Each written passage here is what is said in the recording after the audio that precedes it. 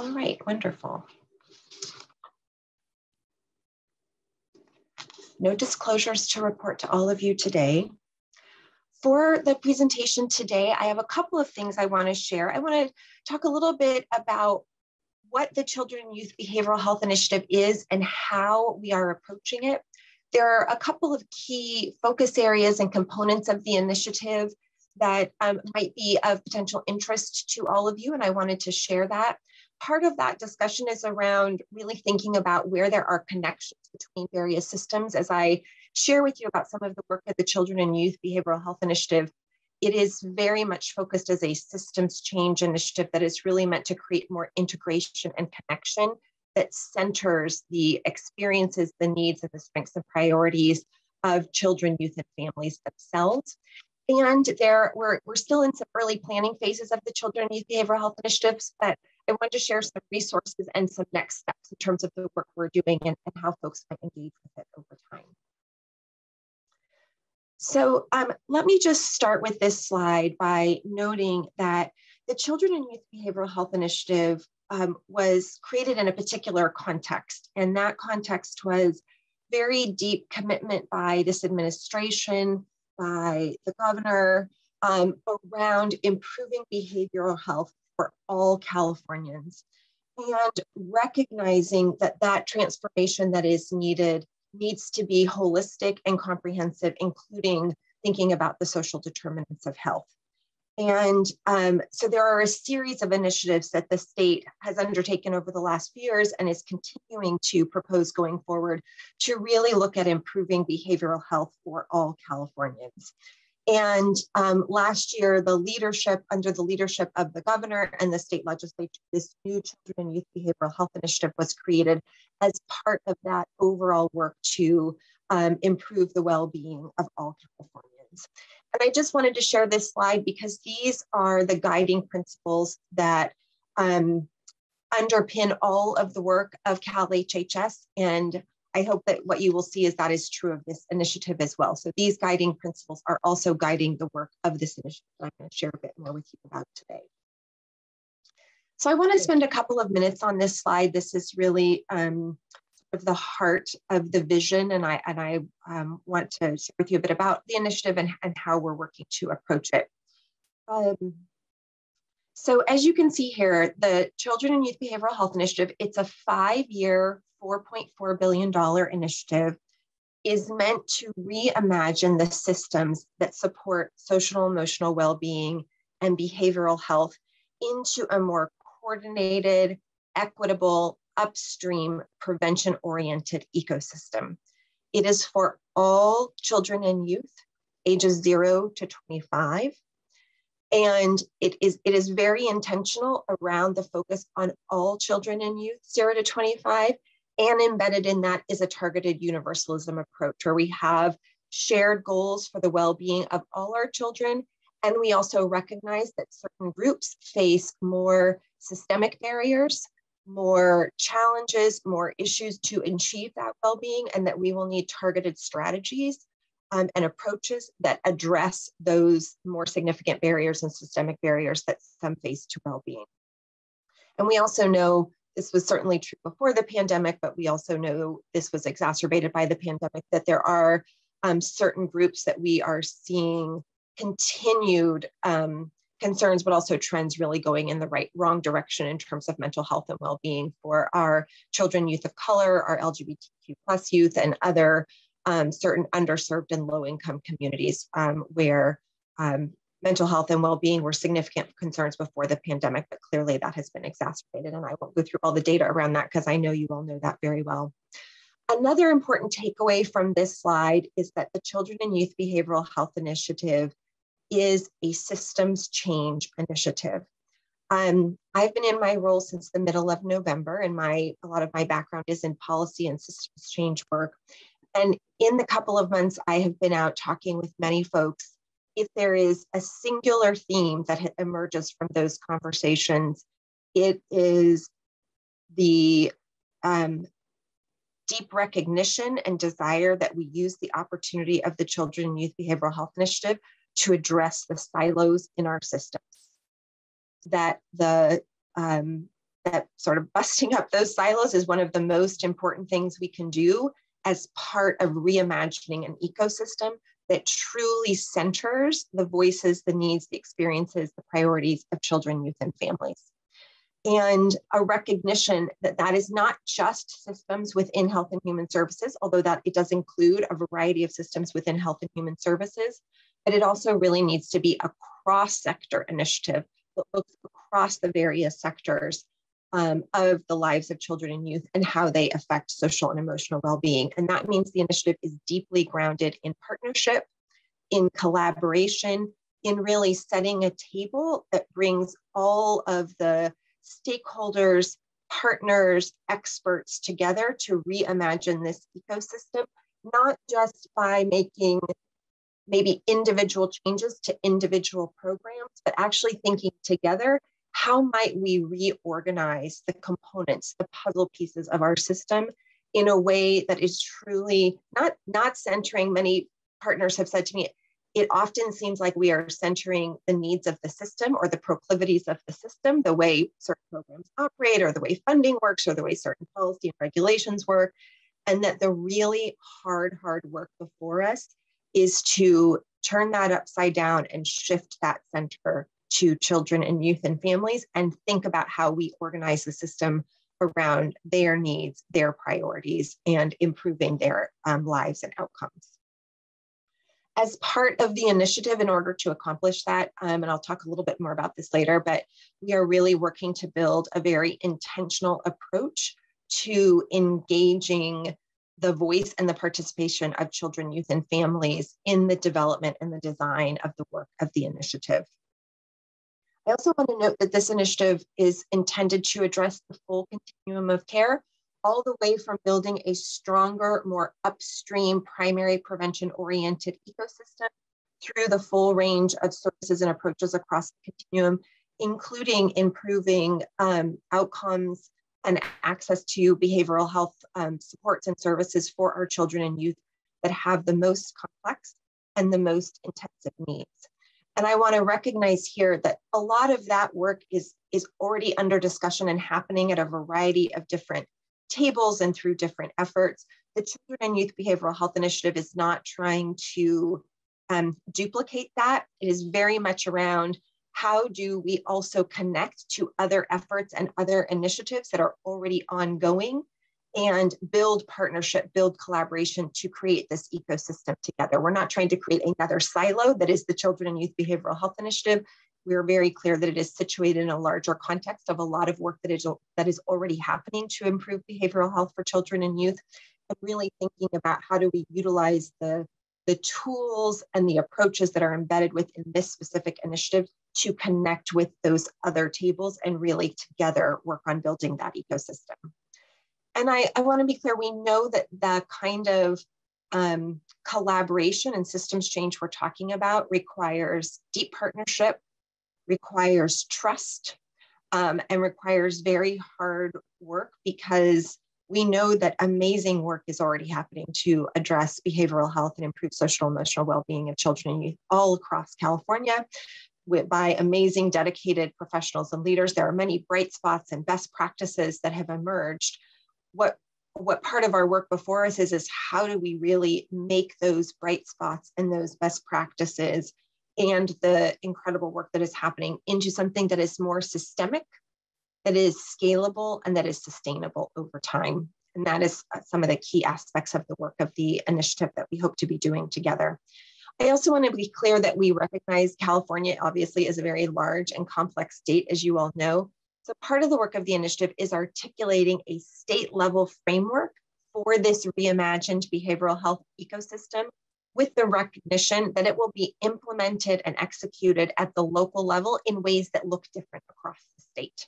Um, but, but doing that work, thinking about it in a very connected, bi-directional way between how the work is organized at the systems level locally what state level frameworks can support that or and sometimes create barriers. How do we work through those issues? That is part of the work of the initiative. And it, it really is meant to be a whole of government, whole of society, comprehensive approach to thinking about the ecosystem that supports well-being for our children and youth. So I'm going to just um, share this slide. I've touched on most of these issues, but I just want you to see um, these are the areas and sort of the underpinnings of when we are in this stage of planning and design around the Children and Youth Behavioral Health Initiative. These are the underpinnings that are guiding um, the work that we are doing um, at Cal HHS through our departments, cross state agencies, and with our partners in the field. So let me talk a little bit about how we are approaching doing this work of redesigning and reimagining the ecosystem. I mentioned this first one, we are focusing on the entire continuum of care. There's a very strong recognition that we have to increase the capacity of the system itself. And I'll share some of the ways in which um, we are working to do that through the behavioral health, um, Children Youth Behavioral Health Initiative. One of the key ones is related to workforce, and I'll spend a couple of minutes talking about that. Um, as I mentioned before, uh, we are really working to um, approach this initiative where we are centering the voice and the experiences of children, youth, and families as a part of the guide and North Star of how we do this work together. It's a very strong recognition that we need to address stigma and support um, children and youth in accessing the supports and services that they need. And this last bullet is probably the most important one on this slide. The Children and Youth Behavioral Health Initiative, as I mentioned, it's a five-year initiative. It's a $4.4 billion initiative. Most of the funds in the initiative are one-time funds that are really meant to be a catalyst for thinking about how do we reimagine and begin this work of redesigning and systems change that um, uh, really creates the architecture and builds up the infrastructure and builds up our capacity to function as a more integrated, coordinated, equity centered ecosystem to support social emotional well being and behavioral health of children and youth in California. So, this catalyst role is a very important um, part of the work of the initiative. So, where are we at in the work of the initiative? Because this was passed in last year's state budget. So, we're still in the early days of the work we really see the work in these three main phases. Um, much of the work that's still happening right now is in phase one, where we are in sort of standing up just the infrastructure of the initiative itself, developing five-year outcomes goals for the initiative, putting in place how we're going to do this work across state government, but also very importantly, how we're going to be engaging stakeholders and partners across the state uh, and in the field around this work. There is also work though that has already moved into the second phase. You'll, you'll see pretty soon, I'll share with you a slide that shows there are 14 work stream components that make up the Children and Youth Behavioral Health Initiative. And they are all on uh, sort of different timelines. They, they are housed in different departments of state government, but we are working very hard to coordinate across all of them. Um, they are on different timelines. So some of the work is already in this phase two work and more and more of the work will be moving into this um, phase two in the coming weeks and months. So I wanted to pause for a second and pose this discussion question if folks would like to share some thoughts in the chat. Um, I would really welcome this. As I mentioned uh, a few minutes ago, we see the Children and Youth Behavioral Health Initiative's effort to build an ecosystem as meaning it's not just a self contained body of work with those 14 work streams in the Children and Youth Behavioral Health Initiative. Those are the tools that we have under this initiative that we will be focused on to reimagine and redesign and build up this architecture and infrastructure for a reimagined ecosystem, but not doing that in a vacuum. Thinking about it in connection with other systems change efforts and initiatives that we know are going on, like the system of care work that is happening around foster youth. So if folks have any thoughts that they would like to share in the chat around connections you see between your work with children and youth with developmental disabilities and who also have mental health and substance use or behavioral health needs, um, would really um, welcome learning about, hearing about those connections so that as we continue the work of engaging stakeholders, we can be folding in those opportunities for connection and integration across the ecosystem into our work.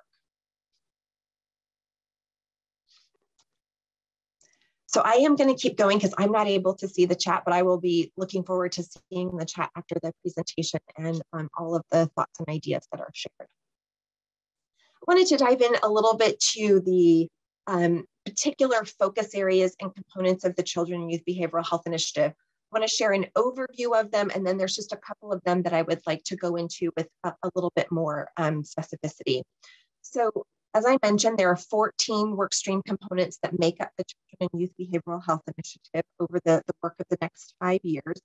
They're really grouped into these four areas, focusing on workforce training and capacity, building the behavioral health ecosystem infrastructure, thinking about coverage architecture and public awareness. And you can see that we, we put this across two slides so that it could actually be readable, but you can see some of the particular um, workstream components that fall under each of these areas. So I'll, I'll, I'll be going into a little bit more um, the first two in terms of workforce. So I won't speak to those now, but I'll, I want to mention a few of the others. So you may be familiar with CalHOPE, which is the, um, it's many things, but it's a website, it's a phone line, it's a texting service that was stood up during COVID um, to support mental health and behavioral health needs of Californians during the incredibly um, stressful and challenging times of the pandemic. One of the programs of CalHOPE is actually connecting with schools and um, county offices of education and school districts to provide resources that support work that is happening in schools to support social emotional well-being of children and youth. And so that's um, there's some investment in that program through this initiative. This next piece around um, pediatric primary care and other healthcare providers is particularly around um, information, training, and supports that will be related to the virtual services platform that I will talk about in a couple of minutes in a little bit more detail. Um, there is work happening through the California Office of the Surgeon General to develop trauma informed training for educators, and this includes early learning, so early childhood um, care settings and learning settings, as well as in the K through 12 setting. As I mentioned, I'm going to talk a little bit more about the virtual services platform, so I won't talk about that here. There is also a grants program through the initiative um, to support and study and lift up and begin to um, possibly scale evidence-based and community-defined best practices um, related to supporting uh, social emotional well-being and behavioral health for children and youth. And that um, grant program is has not been developed yet, but that is one of the components of the initiative. In terms of the behavioral health ecosystem infrastructure, um, there is a, another grant program that is part of the initiative. It's a $550 million program that is to um, support partnership, collaboration, development across key aspects between schools and the behavioral health system and, and its many components community based organizations, schools, uh, managed care plans, tribes, many different groups that could be a part of that. So the contours of that are in the in the process of being defined. There's a series of stakeholder engagement meetings that will be happening over the next couple of months to help the Department of Health Services, who's the lead on this particular work stream, to um, shape that program. The Behavioral Health Continuum Infrastructure Program is actually a much larger program than this initiative that is about investing in some of the bricks and mortar infrastructure we need to make sure we have the behavioral health services that we need communities throughout California.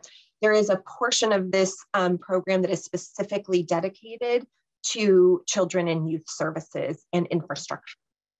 And then the Student Behavioral Health Incentive Program is a program through the Department of Healthcare Services and our Medi-Cal program that is specifically focused on um, incentive payments to Medi-Cal managed care plans for developing partnerships and targeted interventions working with uh, school districts throughout the state and other related partners in, in the community. And then the last two overall um, uh, sort of major components that the work streams fall under. One is related to coverage architecture. Um, you may be aware that in last year's state budget as part of the initiative, there is a new Medi-Cal benefit um, that will be coming online next year in 2023 for dyadic services in the primary care setting. And also part of the initiative includes the development of an all payers fee schedule for school linked behavioral health services. So a set of services will be defined, a fee schedule be, will be attached to it, and it will apply to both Medi-Cal managed care plans and commercial health plans for school linked behavioral health services. And then in the public awareness arena, there are two major campaigns that are part of the initiative. One, this first one is through the California Department of Public Health. It's a $100 million campaign that is really um, an education and change campaign around behavioral health for children and youth. And this um, campaign is just in the very early stages of being scoped out in terms of the approach. But I know one of the things that the CDPH is very focused on with this campaign is very much thinking about equity and taking targeted approaches that are um, culturally relevant, um, culturally appropriate, and really um, utilize this campaign to think about how do we advance equity in terms of behavioral health outcomes. And then the Office of the Surgeon General, as you all know, has done a lot of work around ACEs and ACEs work in the context of the primary care setting. This is more of a public awareness campaign related to ACEs, both what they are, but what are also strategies to both prevent and, and mitigate, mitigate and buffering support. So this is a public awareness campaign and there's an RFP out for it now and the Office of the Surgeon General will be selecting a partner to do this work with them in the next year. So let me focus on just um, a couple of those um, components that might be of um, potential deeper interest to you and that perhaps you would want to ask me some further questions about, although of course happy to talk about any of these components first wanted to focus a little bit on workforce because this is clearly such a significant issue in the field of behavioral health overall, but also specifically related to children and youth. You can see here from this slide, it is a very significant part of the investment of the Children and Youth Behavioral Health Initiative overall to focus on developing and building up the behavioral health workforce that we need. So the first part of it is the first set of investments through the Children and Youth Behavioral Health Initiative, as you can see here, are on the broad behavioral health workforce. And it's really to invest in a, a series of programs that really um, support a multidimensional approach to uh, behavioral health training and capacity expansion, looking at you know loan repayments, scholarships, stipends, um, career pipelines, uh, specifically looking at investment in developing the substance use disorder workforce. So it's it is really a, um, a layered approach trying to build up through um, existing and some new programs looking at the broad behavioral health workforce. There's also a very strong intention in that work to developing a workforce that is more diverse, um, more culturally aligned with California and with um, supporting our children and youth. The second body of work around workforce in the initiative is around behavioral health coaches and counselors. And this idea of a behavioral health coach is a new role in the ladder of uh, behavioral health workforce roles. And we're currently um, the this is this work around workforce. All of this work on workforce is being led by the Healthcare Access and Information Department, which used to be known as OSHPD. I know many of our, us, myself included, are familiar with it as OSHPD, but its name was recently changed to Healthcare Access and Information, or HCAI. Um, and so HCAI has begun work doing research um, really across the, the nation, but even beyond in terms of what this role could look like, and then is starting to talk with um, stakeholders, including youth and families themselves, but also many other partners and stakeholders around, well, what should this behavioral health coach role look like? Um, it's envisioned to, to be in a few locations, but particularly in school-based settings, but also potentially other settings as well. And really trying to imagine what should this um, coach role be. And some of the thinking right now is that um, it is really around engaging directly with children and youth, um, very much focused on being sort of grounded in community and in um, settings such as schools where children and youth are. Really thinking about a behavioral health coach workforce that is diverse and bringing lived experience to the work. Um, addressing some of the gaps we know we have um, in the behavioral health workforce overall. So a lot of thoughts going into what should be the level of education and training and how this role could also serve as um, part of a career path and a career ladder to bring more people into other behavioral health professions that may require master's degrees and beyond. Um, and also really um, thinking about how it can also be, though, a sustainable role in terms of um, how the positions are paid for and how they are financed, and that it's really um, you know, a living wage for people. So that's the work that's happening. So significant investments in workforce through the initiative. And then I wanted to talk about one other of the, the work streams, and that is the behavioral health um, virtual services platform that is um, a part of the initiative. You can see here that it's really a multifunctional design with a series of um, capabilities and capacities that the um, virtual services platform is envisioned um, to hold. Um, the work on this is just starting. The concepts you see here are what were included as possibilities in the legislation. There is a think tank being formed by the Department of Healthcare Services to help inform and guide and shape the development of the platform. And there will also be a number of stakeholder engagement, you know, listening sessions, workshops. Um, this is definitely something Department of Healthcare Services has been very clear. This is not a platform that's if you build it, they will come. This is meant to be a platform that is deeply centered on what we hear from children, youth, and families they want and need out of the platform in order to support um, social emotional well-being, getting the supports they need, getting connected to uh, services. There's one particular piece that I want to call out um, with you all, and that is the e-consult piece. I'm sure many of you are familiar with um, the e-consult approach. Um, and there are um, places, including at UCSF and around the country, that are doing e-consult work related to children and youth behavioral health and connecting primary care uh, providers, including pediatricians, to uh, behavioral health expertise for children and youth in order to support their capability to address the growing mental health and behavioral health needs of um, uh, children in primary care practices. And so part of that program is envisioned to be connected through this virtual services platform. I mentioned this a minute ago, so um, Department of Healthcare Services is launching these two think tanks on these two particular work streams. Um, applications were just due for those um, earlier this week.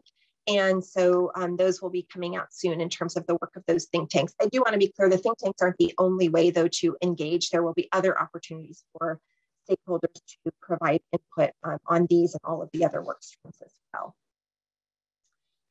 Um, and so then here, another discussion question, if folks have some thoughts that they would want to share in the chat, would be really great to hear if there are any of those streams in particular um, that you see in relation to your work for children and youth with um, developmental needs that also have um, mental health and behavioral health needs? Are there particular work streams that are of greatest interest to you or where you see that important connections could and should be made as we are thinking about this more integrated ecosystem, upstream prevention oriented equitable approach? So folks have a few thoughts to share in the chat, that would be terrific. And I will look forward to um, receiving them. I want to close by just sharing a little bit about our stakeholder engagement plan um, so that you are aware of some of the ways in which, if you are interested, that you could continue to be um, updated and connected with the work of the Children and Youth Behavioral Health Initiative.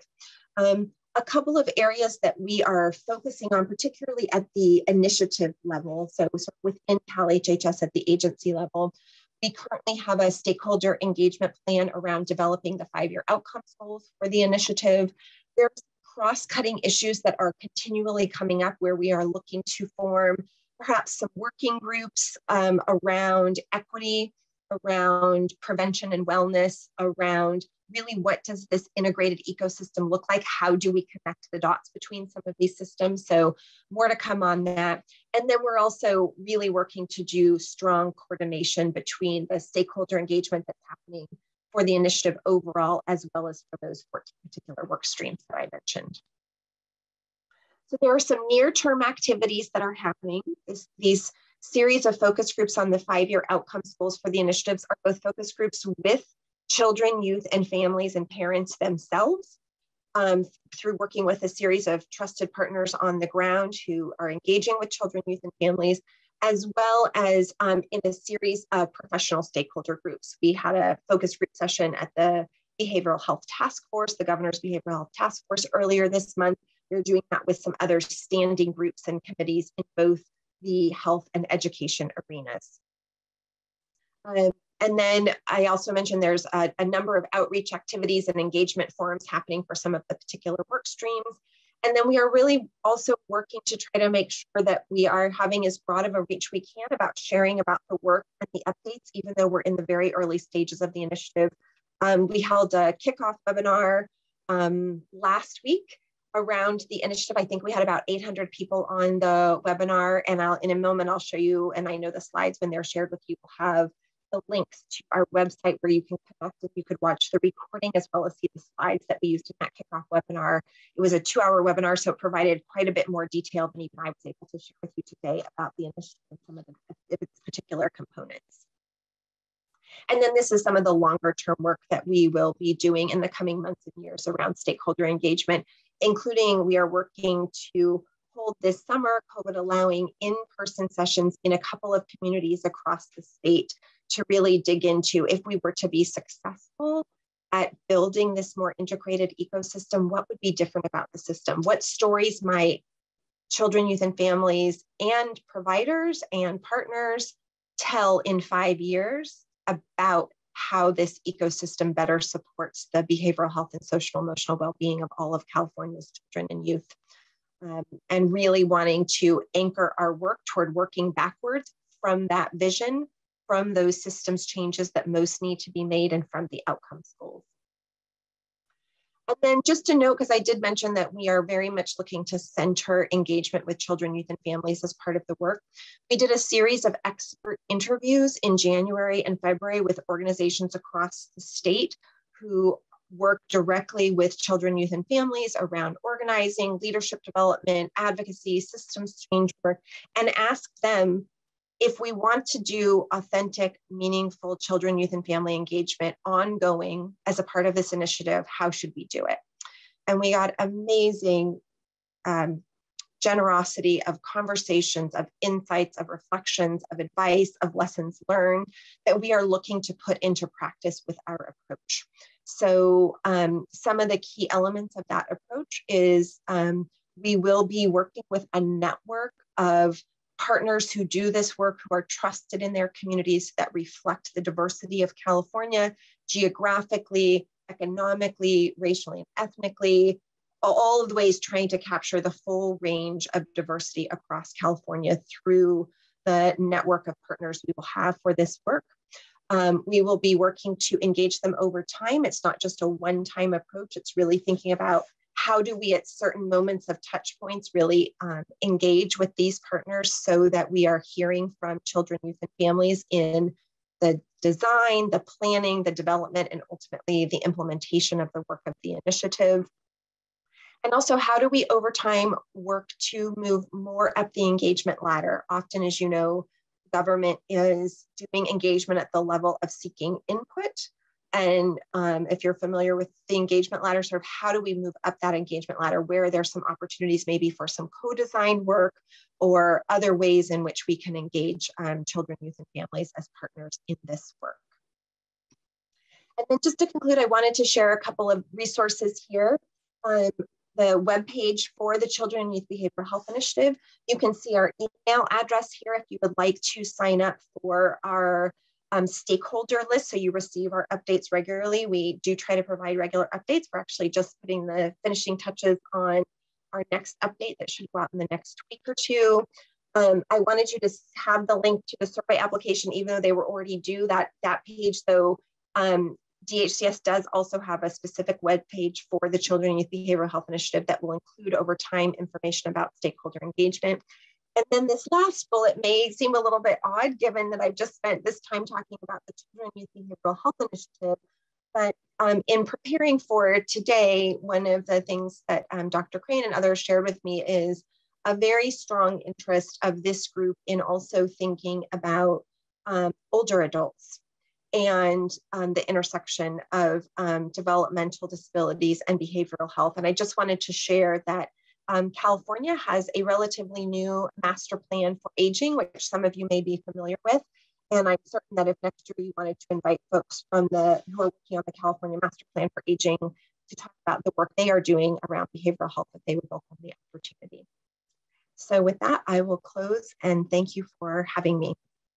Thank you for an exceptional talk, Melissa, and for rising to the occasion at the 11th hour. We really appreciate it. This is really an exciting um, uh, initiative, and uh, you have generated um, more questions than anybody in the two days of this conference. And Galen assures me that she will be saving the questions and those in the chat for you, and you will be a busy lady addressing all of those, uh, or even a percentage of them.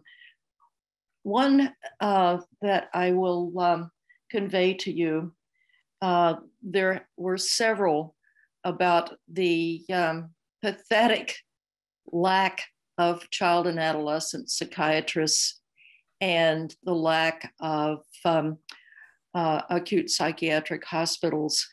And another um, really uh, concerning aspect of that is that many psychiatric hospitals in California are refusing to admit youth or children or adults with um, intellectual or developmental disabilities because they don't know where to send them when they're ready for discharge. Comments? Mm-hmm. Yes, thank you for lifting that up. So, want to note that when I talked about that general behavioral health workforce investment, that does include programs through HCAI that specifically address psychiatrists and child and adolescent psychiatrists. So, there is funding available for programs that support loan repayment, other approaches through that um, initiative. So, again, I don't, I can't go into all the details around it given our timing, but that is available. And if you um, look at some of the materials from HCAI, you will see some of that. But that is definitely a recognition part of the investment that is possible through um, that general broad behavioral health workforce investment as part of the Children Youth Behavioral Health Initiative. You may also know that the governor proposed in his budget for this year even further investments in the care workforce, including in behavioral health. So there's a strong recognition of the need for investment in the behavioral health workforce. And then with respect to really appreciate you lifting up and sharing with me some of the gaps in terms of services, I want to return to that behavioral health continuum infrastructure program. So if you haven't had a chance to look at that, the children, there was a webinar recently specifically on the children's portion. This is led by the Department of Healthcare Services, so you can find this information on the DHCS website. Um, there was a webinar specifically about the children and youth component of that program.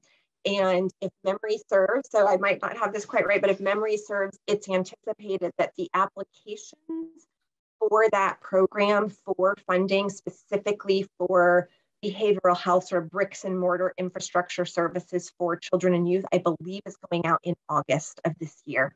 But don't quote me on that because I don't have it in front of me, but I, I believe it's August. So um, there will be an opportunity to invest in some of the bricks and mortar infrastructure we need specifically for children and youth behavioral health services.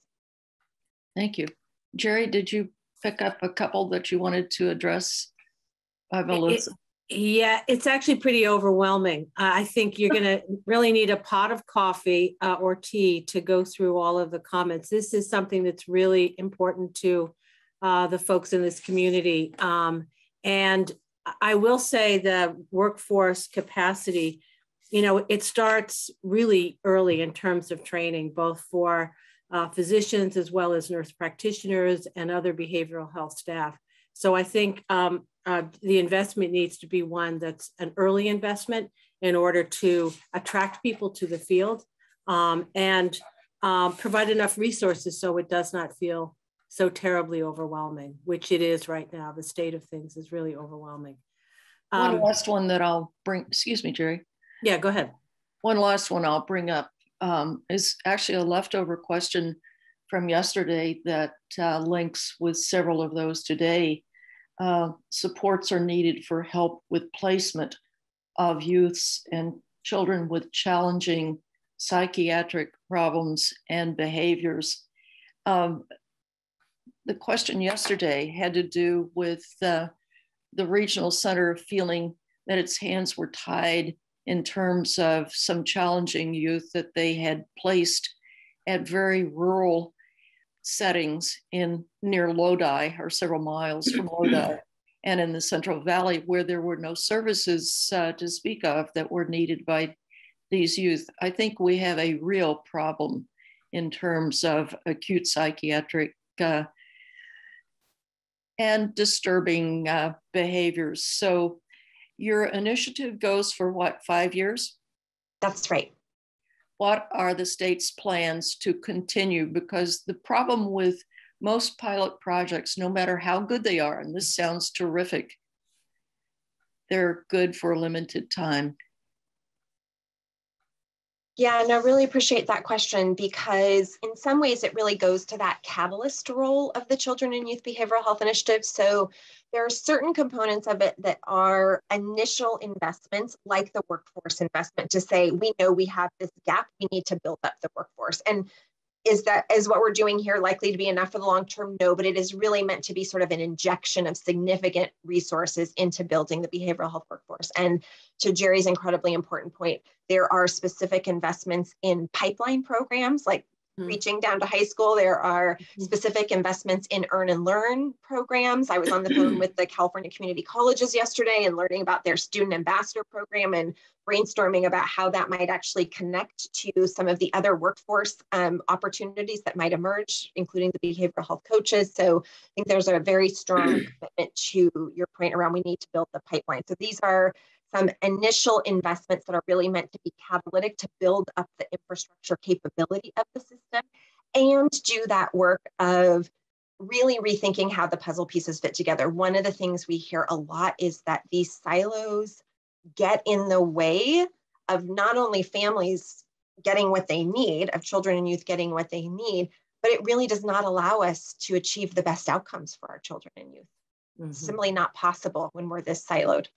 And so part of the work of the initiative is creating the opportunity for us together to figure out some of that and do it differently. And part of figuring out is what you have raised, Dr. Crane, which is the sustainability model.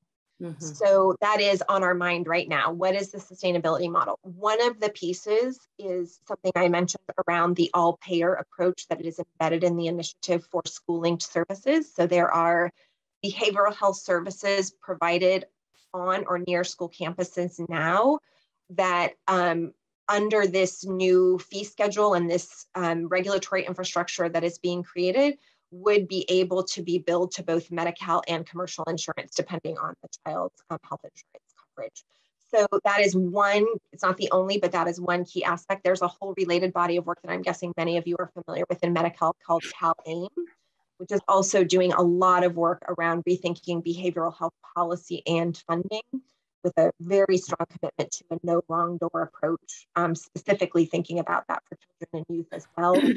So um, that that work also relates to sustainability in the ways in which Medi-Cal is looking through CalAIM to adjust policy and reimbursement for behavioral health services. There was a um, a state plan amendment through the Medi-Cal approved not too long ago um, that actually enhances the ability of schools to receive Medi-Cal funding to support behavioral health services. So you are absolutely right that we have work to do on sustainability, but it is front and center in our work and on our minds, even from day one of the initiative.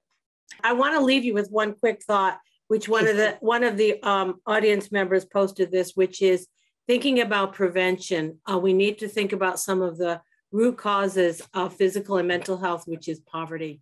I know yes. I don't want you to respond to that. I just want to leave you with that thought because I think it is so important, again, to think about some of those root causes. And thank you so very much. This was enlightening. And I know that you're going to be busy reading all of those comments. Thank you so very much. Thanks for having me.